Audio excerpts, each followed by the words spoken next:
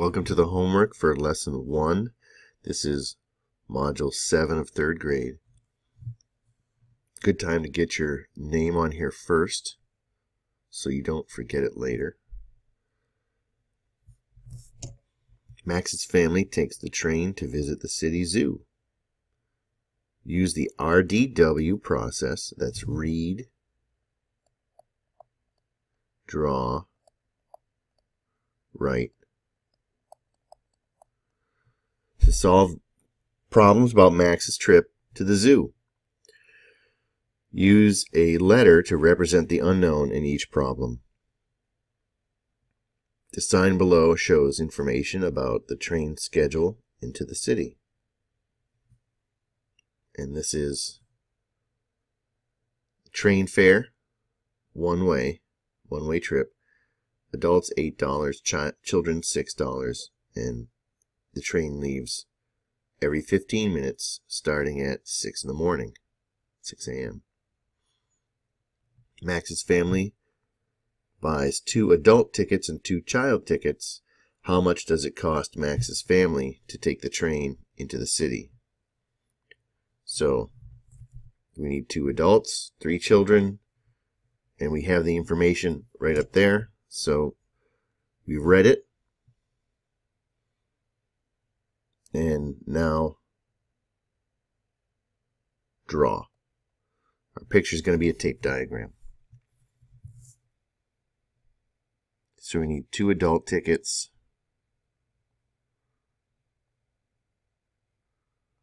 That's going to be an adult ticket, which is 8.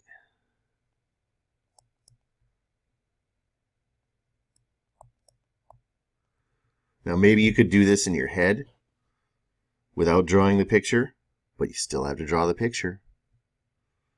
Three children. Make those a little bit shorter than the eights. We're looking for a total here. So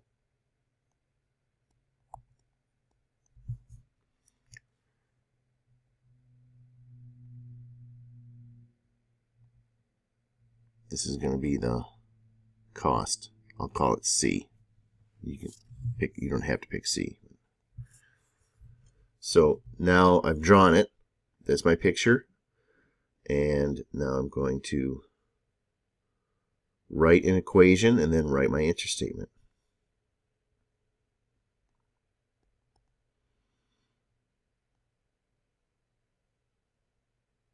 Now I can either write this as multiplication or addition I'm just going to write this all addition.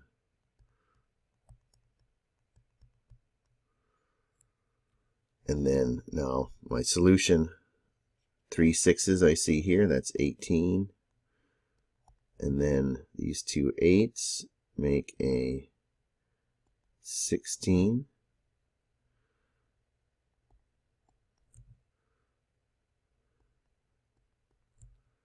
And two 16s would be 32 and the 18 is two more so it's going to be 34 and it's dollars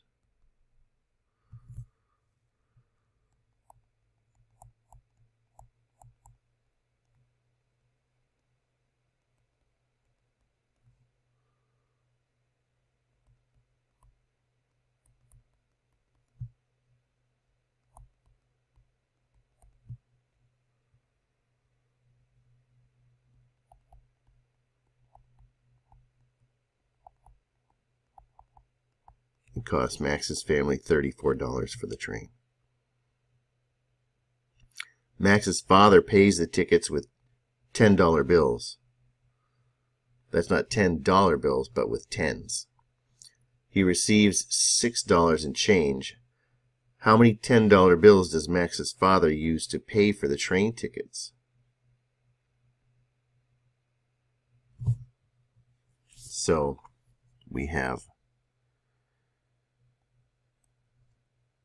picture is going to be looks going to look it's going to be a tape diagram. Now your tape diagrams don't have to look exactly like mine. There's a lot of different ways you can draw these with tape diagrams, but this is just the way I thought of doing it. So we know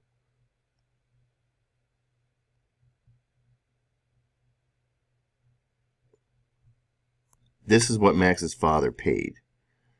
We know he paid $34. Now, just um, I want to mention something about change. Some third graders know this, some don't. A lot don't. Um, this is in this uh, cash transaction. This is where we know the 34, the changes the extra money that you pay. So he only has 10, so he can pay $10, $20, $30, $40, $50. But that's all he can pay is, is in is in increments of 10 because he has $10 bills. So he's paying in tens. He's going to pay, and it's 34. 34 is not a multiple of 10. So he's going to pay a little bit more than he, he can't pay 30. So he has to pay 40. And he's paying too much. And the change is how much he, the difference between the 40 that he's going to pay and what he's going to and what he actually the 34 that he owes for the train and the 40 that he gives the uh, the cashier. The cashier has to give him back the difference between what he's supposed to pay and what he actually gave him. So that's the 34 that the train ride costs plus the six dollars in change. That's what change means in this story So these two things put together will tell us how many tens he needs. So this whole thing here is $40. That's what he gives the cashier. The equation we're going to write is, let's take T for the number of tens. T is number of tens times 10 equals 40. And you can see there t is going to be 4 tens, 10, 20, 30, 40.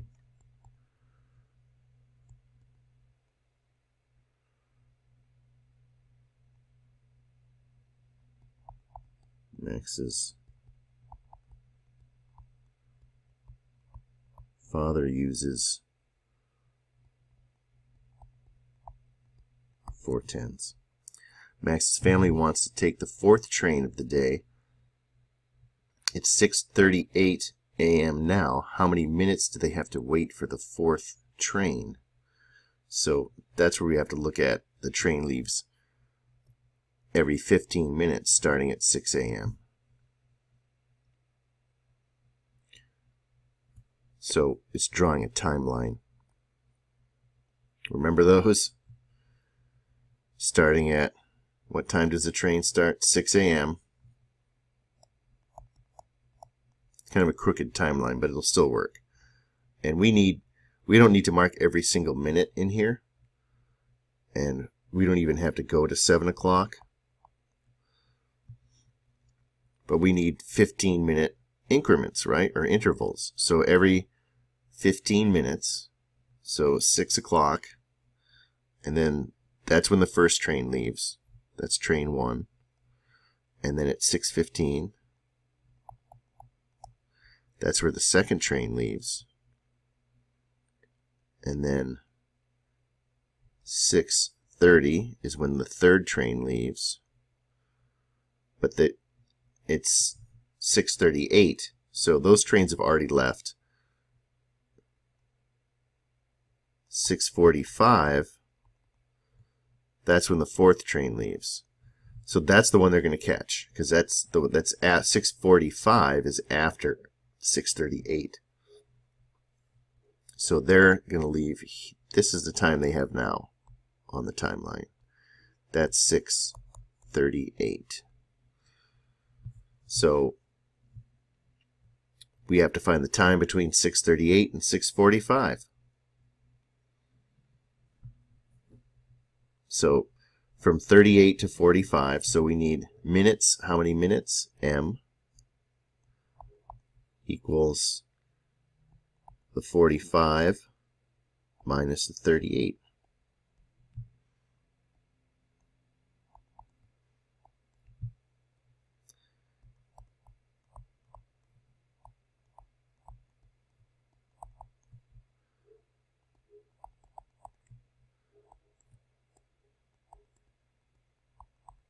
They have to wait seven minutes.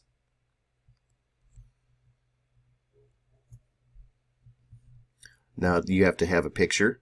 Timeline's really the best kind of picture you can have for this. And then uh, you got to have an equation. You got to use the letter for the unknown, and you have to have your answer statement. You have to have all those things. They don't have to be exactly like mine, but you have to have those things. At the city zoo, they see 17 young bats and 19 adult bats. The bats are placed equally into four areas. How many bats are in each area? You could think of this as a two-step problem because it doesn't really matter how many, um, what kind of bats there are. It just matters how many. So once, and then you have to put them into into uh, four equal groups. But you could do it in just one. So you could draw a tape diagram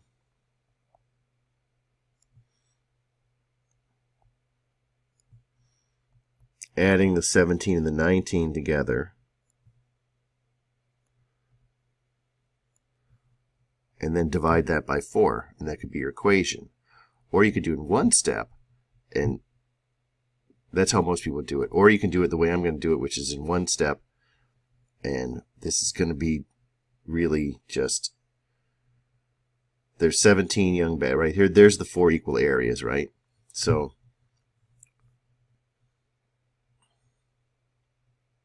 this, I'm going to make tally marks, and that's going to equal one bat. So, one, two, three, four, five, six, seven, eight, nine, ten, eleven, oops, eleven, twelve, thirteen, fourteen, fifteen, sixteen, seventeen. That's the 17 young bats. Now I need 19 more. 1, 2, 3, 4, 5, 6, 7, 8, 9, 10, 11, 12, 13, 14, 15, 16, 17, 18, 19. And now we have four groups with an equal number of bats in each group. And I'm just going to label this too for one group. And you can just count.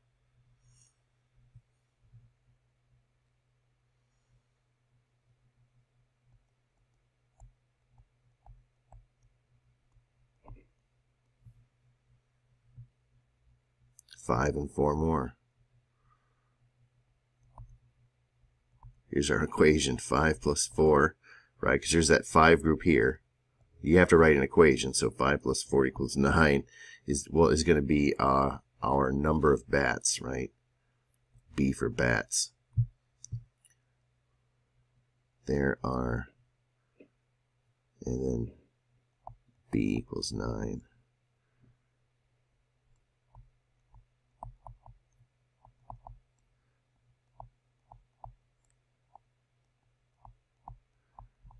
So sometimes depending on the picture you choose to draw, uh, you, you can skip one of the two steps that other people might have to do if they draw a different picture.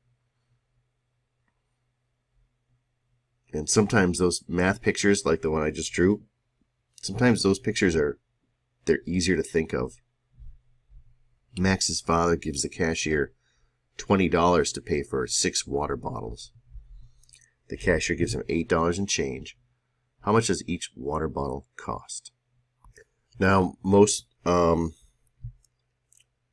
normally this would be thought of as a two-step problem again, and what you do is you would subtract because we have another change problem, right? So it's we have to figure out you'd figure out what was paid first by subtracting the eight dollars and change from the twenty because that's what he had to he had to pay, and then six is the difference between what he gave him, the twenty dollar bill, and what he got back. So you could do that subtraction, figure out what that is, and then uh, divide by six. Or and then that would be the two steps because first you have to do this you have to do the subtraction and then you have to do the division. But uh, you could do this really if you just draw the picture. You could do it, and that's how most people would do it. But I'm just going to draw. I think this way is just going to make more sense. One, two, three, four, five, six. And now each of these is one bottle.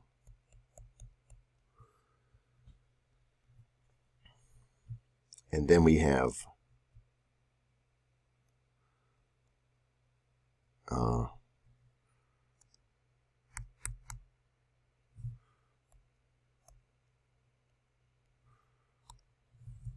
that's one bottle. Now we have eight dollars and change, right?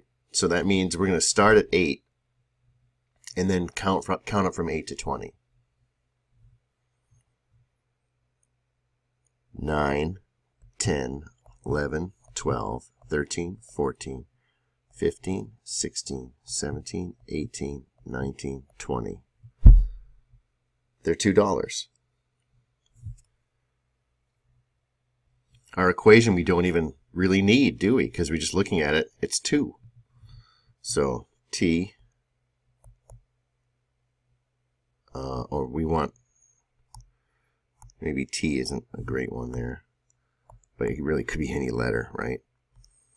So this is uh, cost for each water bottle. So C for cost, C equals $2.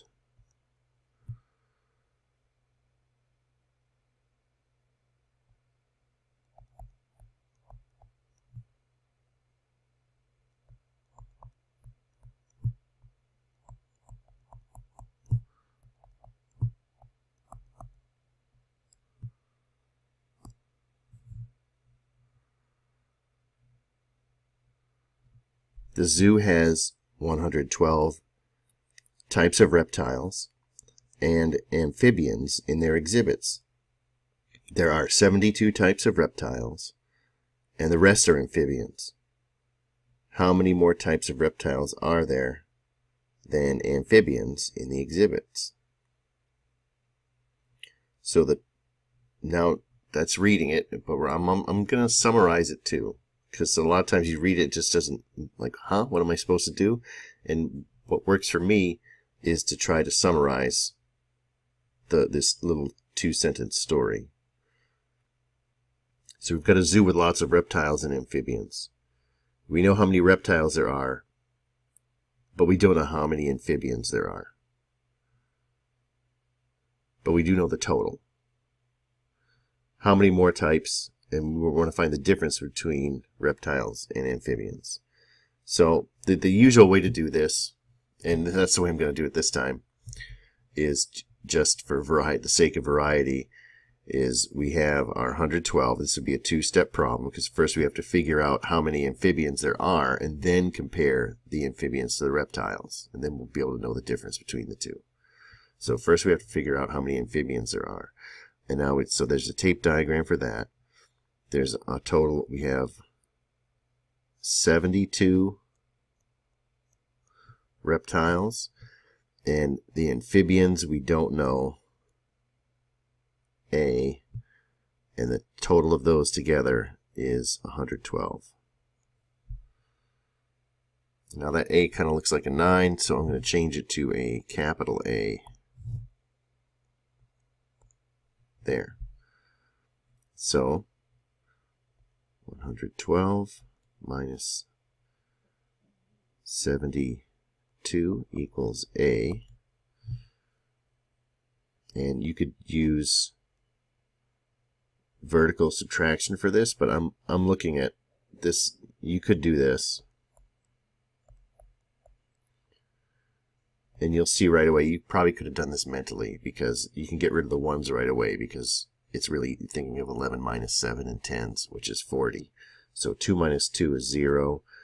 And then 11 minus, so this is uh, 1 minus 7. You can't do that in tens, so you have to break up this 100. You're not going to have any hundreds left.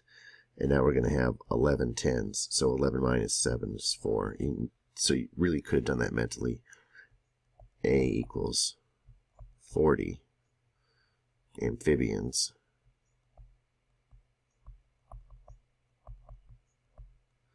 I like to label my numbers like this in my steps because that way I don't lose track of what the numbers represent. And that helps me remember what I'm supposed to do next. Uh, so that's 40 amphibians, and now I have to figure out the difference between the amphibians and the reptiles. So that's, if I was going to draw, you don't have to draw another tape diagram here because you already have one, but that would be the 72 these are reptiles, and these are amphibians. 40 amphibians.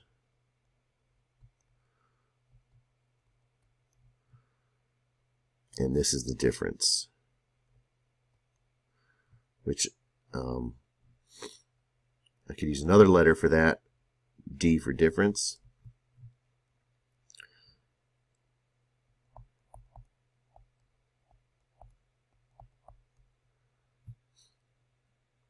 And the 72 minus 40 you could you, you could do this mentally really because you think 70 minus 40 would be a lot easier right?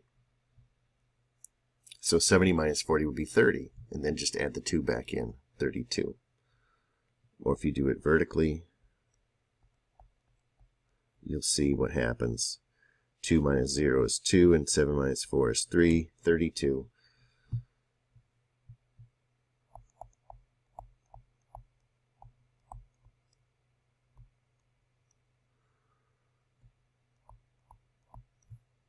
There are 32 more reptiles. Reptile types.